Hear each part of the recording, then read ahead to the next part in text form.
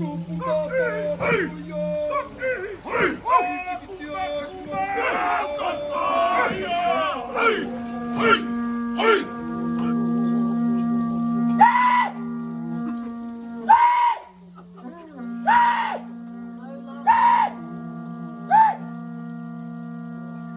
guys.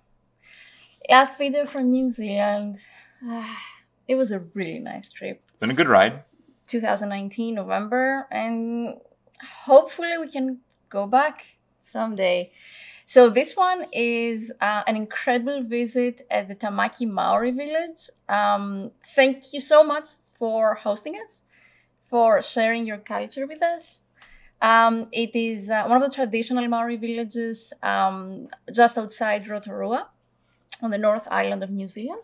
And basically, you get to kind of experience uh, the old way of life of their, their culture and their community, and you get to see uh, a little bit of an insight to the Maori people and experience it with them. So it's pretty cool. You will see a familiar face if you guys are a fan of the New Zealand streaming community. You will see Brox H. Uh, he's a member of this community, and yes, we did reach out and confirm that it's all totally cool to uh, to show this. Uh, and even though you know it is it is going to be a lot shown in this video, it is definitely something you want to experience for yourself. It's a, a, many hours of yeah an incredible experience to to see for yourself.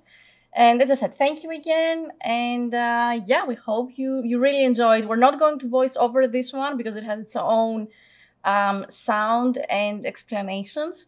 So we wanted to give you the full um, you know, audio visual experience. Hope you enjoyed. Thanks, guys.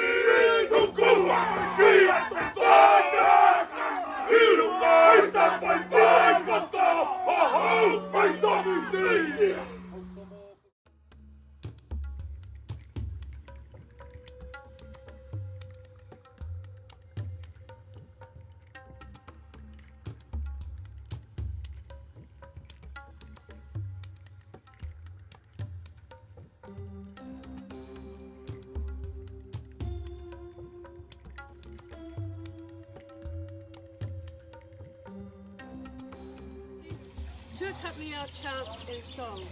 It's beaten on the back and palm of the hand, the forearm and the shoulders to denote sound and rhythm, also used to depict the wing patterns of our birds and insects in flight.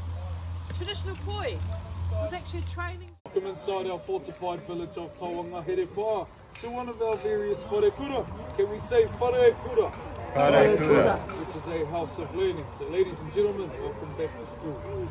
Within our house of learning we dedicate to the hangi and also the weaving of our people. So I'll be giving you an insight into the hangi. So in days of old, right up to the current day, sorry, voice. This was a method we used to cook our food.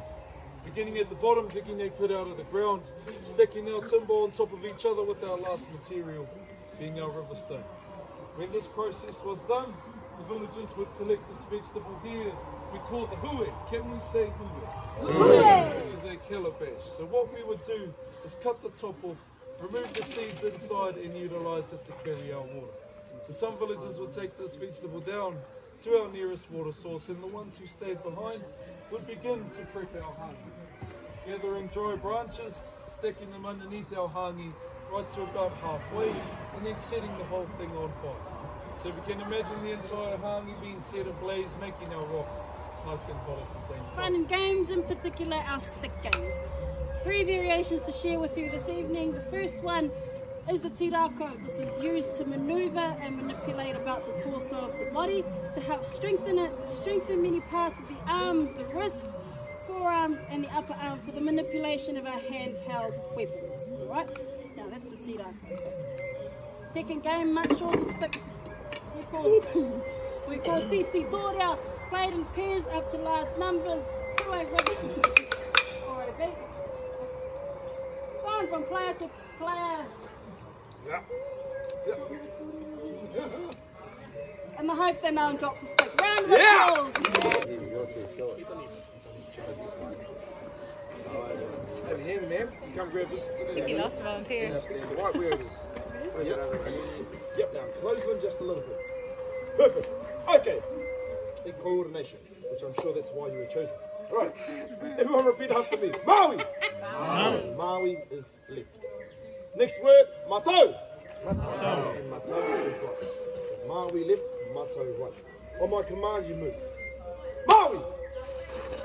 Maui. Maui. Maui. now that we've established Maui is left, let's try matau. Matau.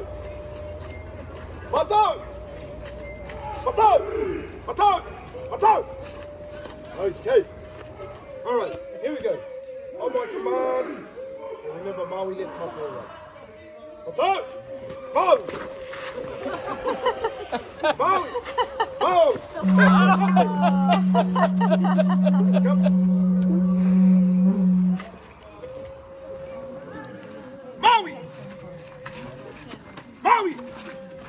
Matau. Thank you very much. He's a, he's a, he's got it at the end. Give them a round round of applause. Uh, nonetheless, let's dive straight into it. I believe your chief has a few words for his tribe. Chief, take it away. Can all the men come on down here now? You heard All your men. chief. All the men. All the men. All Get the to men. this Get down side. here now. Get on this And side. alive. Get on this side so I can film. All the men now. Perfect. All right, gentlemen. Thank you for kindly volunteering your services. It's not that far out. Where you from? Uh, Trent. All right, knees. Hands on your hips. Chest out. Stomachs in. I said stomachs in. One, two, three. Letting out a big loud. Hey! All right, we're going to try all those movements at once. Handshaking to the side. Come on! Hey! First action. Ringa paki. Slapping the thighs. All right. Next, come on. One word, Takahia, stomping the right foot. I'll be a mirror image. All right. Now, believe it or not, gentlemen, you are multitasking. Congratulations. All right, first action to go like this. Now, what we're going to do, there's one more action uh, that is known as the pukana. The pukana is the bulging of the eyes and protruding of the tongue. If done correctly, to look and sound like this. Pukana. All right, we're gonna give that a try. Three, two, one, up. Perfect. I hope you catch this on camera. Slapping the thigh. One, Takahia, stomping the right foot. Whoa, combate, combate, go! Oh, combate, combate, go! Run the right punch, and the left, to the ground. Guru, no, no, tiki. On the off, to the side. To the left. Hoopane, oh, compane. Left, right, hoopane, compane. Fitsitera. Hey, Fukana. Ah, and the crowd goes wild. Yeah. yeah. Once again, welcome you to a different area and aspect of our culture, uh, demonstrated here by the house behind me, called the Whare Makarau, a house of many faces. Taring many faces, they represent the ancestor for this area. Much like um, a senior lecturer in our universities, uh, we'll put a photograph uh, on the wall and that will represent uh, roughly three to four hours. By then, you should be well and truly starved. um, once that is done, you peel back all the layers, and your food should come out looking a little something like this. Can you say ooh? ooh. You say ah.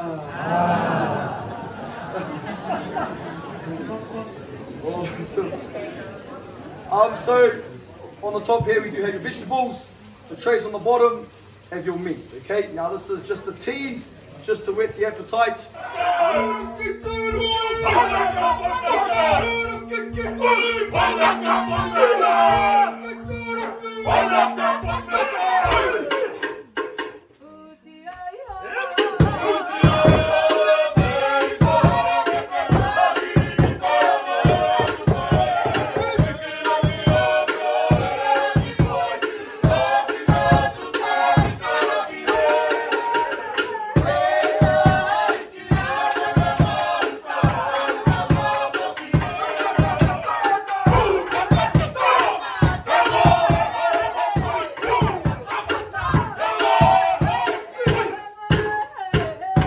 So